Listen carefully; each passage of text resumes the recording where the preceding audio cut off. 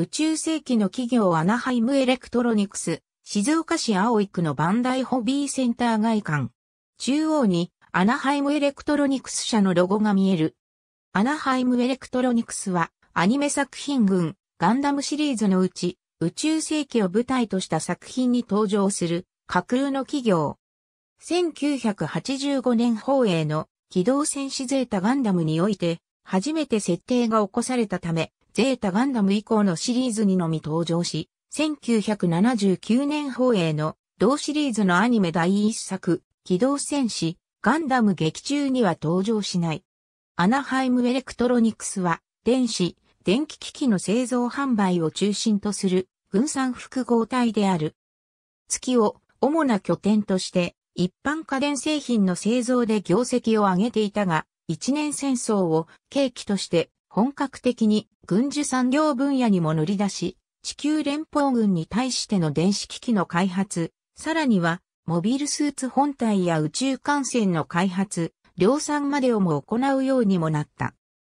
その企業としての力は、宇宙世紀の世界で、アナハイムグループと縁のない企業は皆無と言われるほどで、また、地球連邦政府とも深く癒着して政界にも、絶大な影響力を持ち、月に資本の大半を移していることから、月の専制君主、軍事に関しては、連邦軍御用達であることから、死の商人などと、人々から嫌悪の対象として見られることもあった。キャッチフレーズは、スプーンから宇宙戦艦まで。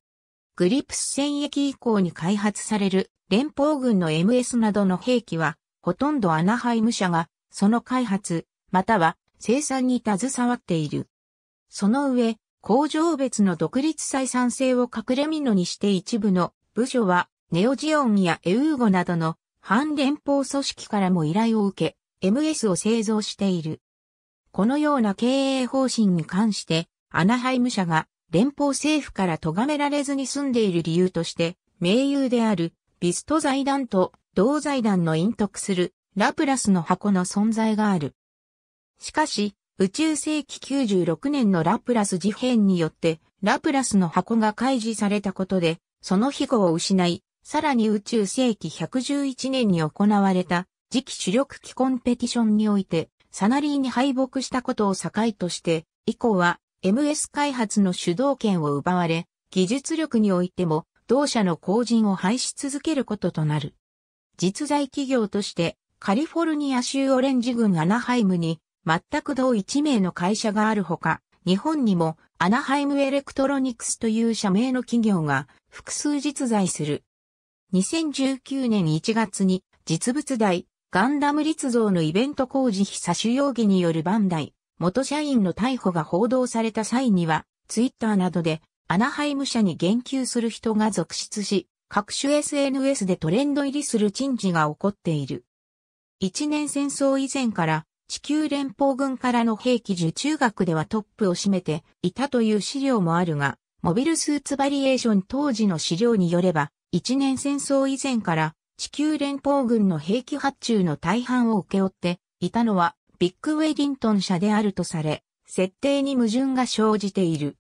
バンダイ発行の書籍、エンターテインメントバイブル、一機動戦士、ガンダム MS 大図鑑1一年戦争編によれば、ジオン公国占領下のグラナダでは、ザクツーバリエーションの設計、生産も行っていたとされる。また、小説版、ジオニックフロント機動戦士ガンダム WO においては、アナハイムの製品が連邦、ジオンの両陣営においてありふれたものとして描かれている。ソフトウェアもほとんど同じものが使用されている模様。一年戦争時に月のフォン・ブラウン氏が中立都市として独立を保ってたのは、アナハイムの拠点が同市にあるためジオンですら、容易に手が出せなかったためとも言われている。戦後、解体されたジオニック社の関連技術者や研究施設などを吸収して、グラナダ支社と第二研究事業部を設立。このため、グラナダ支社は元ジオンの軍人、研究者が多くを占め、後のシャアのネオジオンへの軍備整備を行う等の反独立した存在となる。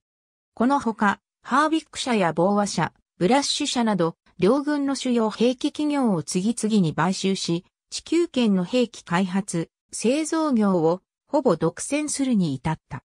月面にあるフォン・ブラウン市郊外に建てた自社ビルであるアナハイムビルのほか、同じく月面に所在するリバモア工場など多数の工場を保有した上、宇宙世紀80年代にはラビアンドーズという研究開発施設兼自走ドック艦を建造している。この企業が歴史の表舞台に登場するようになるのは宇宙世紀80年代に入ってからで、戦術の企業買収を経て MS 開発、製造中心に経営をシフトしたことが大きい。宇宙世紀83年には地球連邦軍主導でガンダム開発計画をスタートし、4機のガンダムタイプ MS を開発している。しかし、同時に起きたデラーズ紛争により、計画自体が初めからなかったこととして抹消されてしまったため、開発された機体も公表されることなく、闇に葬られた。開発データは、後のゼータ計画に生かされたが、事件の余波は大きく、企業の存続さえ危ぶまれる事態に陥ったという。宇宙世紀87年のグリプス戦役ではエウーゴにメインスポンサーとして出資するとともに、主だった MS 感染を供給する一方で、対立する勢力ティターンズにもマラサイなどの兵器を供給し、戦争を煽って利益を生み出していたと言われている。なお、ガンダムマーク2をティターンズからエウーゴが強奪した後、機体を返却をさせなかった上、手厚いサポートをした結果ティターンズから反感を買い、その火消しのためにエウーゴ向けに開発されていたマラサイ等がティターンズに供給される形となった。以降、地球連邦軍であるティターンズの MS デザインにおいて、ガンダムタイプ、ジムタイプ等がいないのはこの時点で、供給機体が入れ替わってしまったことが原因である。特に、グリプス戦役以降、MS のコックピットのシェアに関しては、勢力を問わずほぼすべてが、同社の製品だったと言われている。ジオン系企業を吸収し本社を月面のフォン・ブラウン市郊外に置くなどした結果、アナハイムにはスペースノイドの権益を代表する企業になってしまったという側面がある。そのためスペースノイドが連邦軍に影響を与えることを問題視するティターンズはアナハイムを連邦軍から排除するために純粋な連邦系技術を用いたガンダムマーク2などの主力 MS 開発計画を推し進めた。連邦軍から排除されることはアナハイムのような企業として死活問題であり、そのようなティターンズの活動を阻止するために、リック・ディアスの供与、エウーゴの旗機となり得る、先進 MS の共同開発計画、ゼータ計画などエウーゴに対して積極的な支援を行った。つまり、アナハイムとティターンズは本質的に相容れない存在であり、兵器供与などは戦争を煽るというより時間稼ぎのための政治工作に過ぎなかったとする見方もある。アナハイム会長、メラニー・ヒュー・カーバインは、表立って行動することがほとんどなかったが、アクシズのハマーン・カーンとの直接交渉では、唯一陣頭指揮を取った。そんなアナハイムにとって、僥倖となったのが、エウーゴが、グリーンノアでテスト中だったガンダムマーク2全機の捕獲に成功したことである。内一機を研究用として入手したことで同機の優れたムーバブルフレーム技術がもたらされ、さらに同時に、エウーゴに身を投じた少年、カミーユ・ビダンによる革新的なアイデアを得て、ゼータ計画は、傑作可変 MS、ゼータガンダムを完成させた。その活躍はティターンズを壊滅に追いやるとともに、技術的優位性やエウーゴとの蜜月関係により、以後同社が長期にわたり、MS 市場における大きなアドバンテージを得る基礎を築き上げることとなった。なお、後に公開された劇場版機動戦士ゼータガンダム A ニュートランスレーション星を継ぐものにおいては、カミーユがダッシュしたガンダムマーク2を発進させる際に、モニターに AE アナハイムエレクトロニクスのロゴとも取れるスプラッシュ画面が登場するような描写が追加され、前述の通りコックピットシステムに同社の製品を使用していることを裏付けるような描写となっている。また、ゼータ、ガンダムの開発においても、TV 版で見られた、カミーユの革新的なアイデアという描写が希薄になっており、そもそも、カミーユのガンダムマーク2強奪云々とは別の次元で、すでにゼータ計画が動いていたとも受け取れる描写となっている。また、同時期を描いたと思われるゲームブック G の影を死体用系の秘宝においては、デギンザビの遺産をめぐる戦いの中でハマーン参加の下道州に大量の新型 MS を提供している。これにより数が頼みの MS 忍者でしかなかった下道州は連邦やシャアの戦力では対抗できない規模にまで強大化したという。エウーゴ主導となった地球連邦軍に対し、引き続きゼータゼータガンダムや S ガンダムをはじめとする MS、艦船を供給している。一方で、ハマーンカーン主導のネオジオンに対しても、裏取引の形で少数ではあるが MS が引き渡されている。エウーゴと連邦側のみならず、ネオジオン側に引き渡された MS も後の時代に転用や改良を続けられている。ジオン共和国にもエウーゴ向けのリックディアスの改良機のシュツルムディアスが提供されているなど、ネオジオン陣営の中でもアクシズとは別の組織に納入されている MS もある。宇宙世紀93年頃に起こったシャアの反乱では地球連邦軍と新生ネオ、ジオンの両陣営へ MS を供与している。劇中に登場するニューガンダムやジェガンなどロンドベル隊の MS の生産はフォンブラウン工場がサザビーやギラドーガなどのネオジオンガ MS の製造はグラナダ工場が担当している。月の表と裏に位置するフォンブラウン工場とグラナダ工場は同じアナハイム傘下の工場でありながら全くの別会社だったため工場に勤務している社員でも敵方の MS 製造工場については知らなかったのである。劇中でチェーン・アギがアムロレイにネオジオンのモビルスーツも建造していると主張し、それを聞いたアムロはアナハイム・フォン・ブラウン工場勤務のオクトバー・サランに本当かどうかを聞いたが、自分たち技術部門は違うと否定されている。また小説版ではアムロがニューガンダムの建造をアナハイムが担当すると聞いて、あの巨大会社は死の商人であり、ネオジオンの装備を製造している嫌いもあると語っていた。シャアの反乱の終結後、宇宙世紀100年を契機に、再度3が完全に自治権を放棄することが決定される。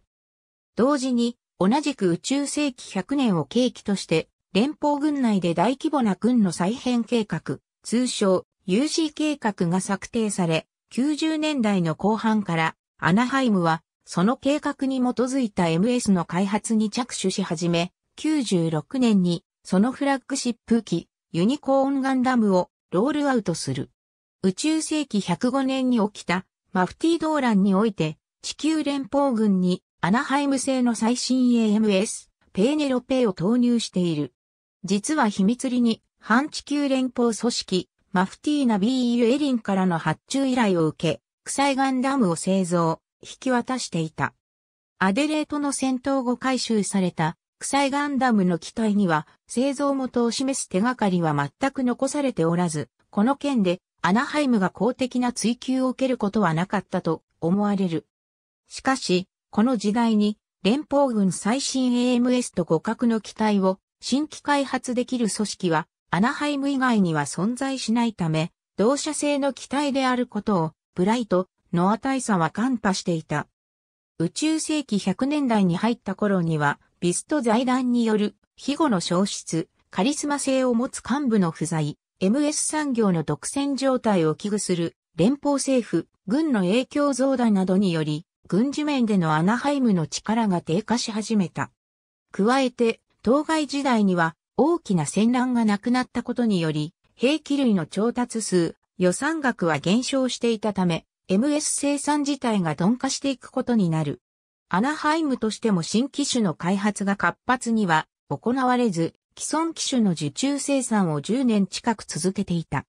平時が長く続いたこともあり、宇宙世紀100年代末には連邦軍から MS の小型化要求を受けて RGM-109 ヘビーガンを開発するものの、既存技術の焼き直しであったため軍の要求性能を満たしていなかった。そして宇宙世紀111年、地球連邦軍の次期主力機コンペティションにおいて、アナハイムが提出した MSA-120 はサナリィ開発のガンダム F90 に完敗してしまう。以後、連邦軍の MS 開発の主導権はサナリィへと移ることとなり、アナハイムでは量産機の受注、生産を続けていくものの先進技術を搭載した高性能機は開発されることがなくなっている。アナハイムは宇宙世紀112年に MS 開発の失地回復を狙い、サナリィからの技術盗用によるシルエットフォーミュラプロジェクトを発動する。プロジェクトの成果によりクローン版 F91 とも呼べるシルエットガンダム、さらにアナハイムガンダムの集大成であるネオガンダムの開発に成功したことで、第2期モビルスーツの技術を補完したのだった。新たに開発した RGM-119 ゼムズガン RGM-122 ジャベリンは、連邦軍の次期主力 MS として正式採用される。これは、サナリーが大規模工場を持たないことなども理由となっている。在来機に代わるジェムズガンジャベリンの機種配備は、宇宙世紀120年代初め頃から行われたものの開発の遅れなどによりコスモバビロニア建国戦争には実質的に参戦することができなかった。アナハイムは一年戦争後に MS 生産の主導権を掌握して、その後の MS 開発を一手に担っていた。そのことによる功績や利点も数多くあったが、この状況を懸念する勢力が連邦軍内部、他メーカー、MS 産業業界全体に存在していた。生産の独占による各種装備の規格統一化は、アナハイムが MS 産業を掌握していた功績の筆頭に挙げられるが、そのことによる関連業種の一極集中が現実に起きており、アナハイムの系列ばかりが利益を独占するという状況は健全な経済状態とは言えなかった。そのため、産業界全体の要望を受ける形で、連邦軍は、サナリーの設立をはじめとした MS 産業全体のリストラクションを画策した。連邦軍から MS 産業全体のリストラクションを受け、アナハイムサイドでは連邦軍の兵器受注の最大手であることを維持しながら周辺企業への OEM 供給や対抗企業との共存共栄の道を模索し始める変化が見られた。当時、MS の総生産台数が減少していた上、このまま MS 産業自体を壊滅させてしまっては元も子もないからである。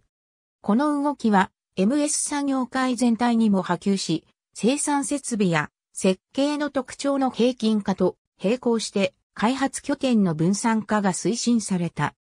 結果、単純に MS の生産メーカーを特定できないということのみならず、ゲリラ的な戦力調達が可能になってしまい、クロスボーンヴァンガードの決起やザンスカール帝国の勃興に大きく寄与する結果を招いてしまった。宇宙世紀153年に登場する MS は、上実の事情もあり、その背景とする開発企業が特定しにくいものとなっている。また、宇宙世紀100年以降は、MS 生産台数自体が鈍化していたこと、宇宙世紀130年代以降はアナハイムによる河川状態の解消とも関連があると言われている。この時代のアナハイムは引き続きジェムズガンやジャベリンを地球連邦軍へ供給していたため兵器部門の生産ラインは維持されている。ただし、宇宙世紀150年代においてはこの両機はすでに旧型の小型 MS であり、サナリィの流れを汲む最新技術を導入したベスパの MS の前では、力の差は歴然としていた。また、V ガンダムシリーズをはじめとするウリガミリティア CMS の開発、製造プロジェクト、V 計画に関与しており、アーケードゲーム、機動戦士、ガンダム UC カードビルダーの第3弾に登場する V ガンダム、V ダッシュガンダム、ガンイージのカードには、製造アナハイムエレクトロニクス社の記載がある。しかしながら、この V 計画においてアナハイムは主体的な立場にはなく、生産に協力するのみだったと言われる。このほか、小説版 V ガンダムでは、ジャベリンの後継機である、ジェイブスが一部のパイロットに配備されている。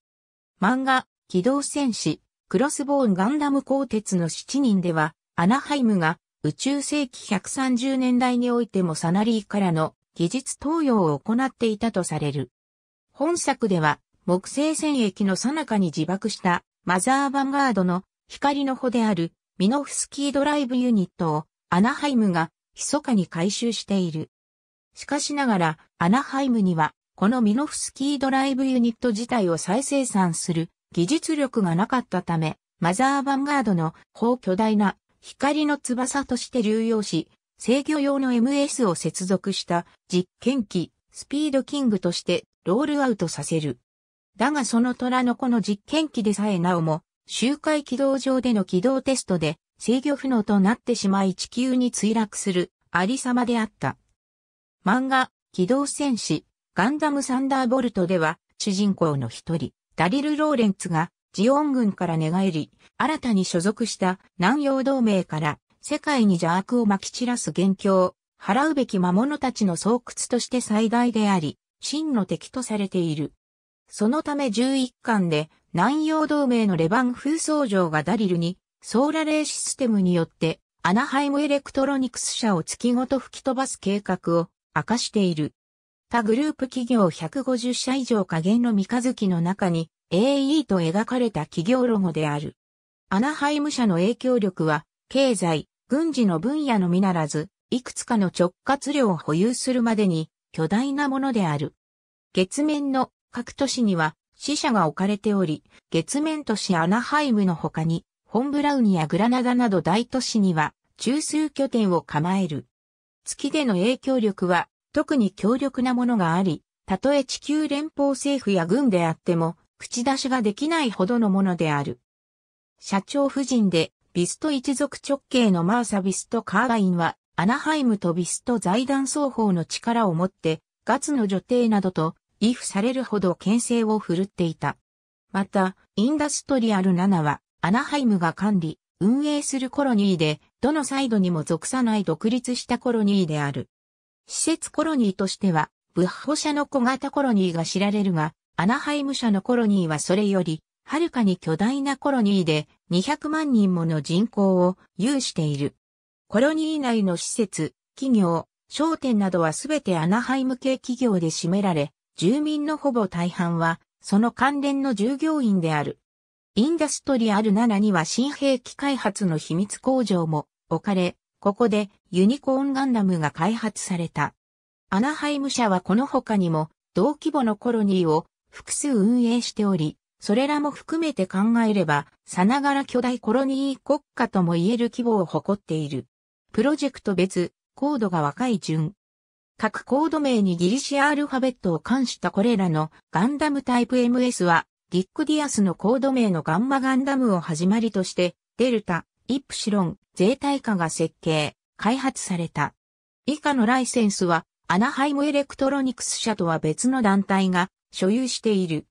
AE ハービック社製などは除く。ありがとうございます。